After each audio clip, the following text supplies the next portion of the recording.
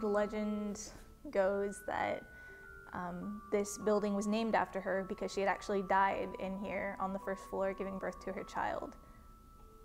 So some people claim that they will see her, and um, sometimes they'll hear their names being called when nobody else is in the room.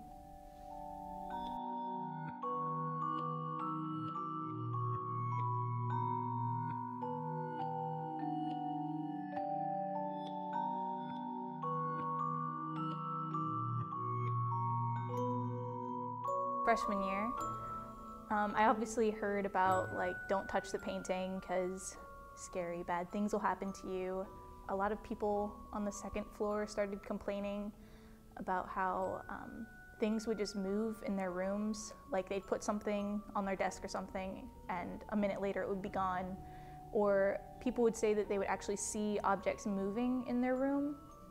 Um, one girl said that her phone just like shot off the table, which was, I'm sure that was kind of creepy.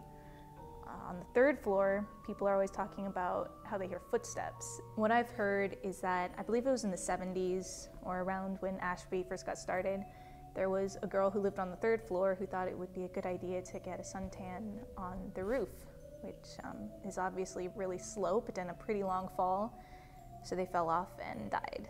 And I've heard that's the, like we actually have like documents of it, like that actually happened freshman year, so 2012 haunted house, we had everyone enter. The tour started in the basement, and what would happen was the basement area, like there's a huge section of it that's closed off, so it's um, there's like a door leading to all this electrical stuff, and it just goes all through the building. And that's where some people in the haunted house were hiding behind, and what would happen were, was the the tour would come through the hallway in the basement and people would start banging from behind the doors and supposed to freak them out. But after the people, after the haunted house was done, everyone who had been behind the door just sort of ran out and they were freaking out because during that time they kept hearing things happening behind them and like noises and like they felt like they were being watched and just a lot of creepy things happening.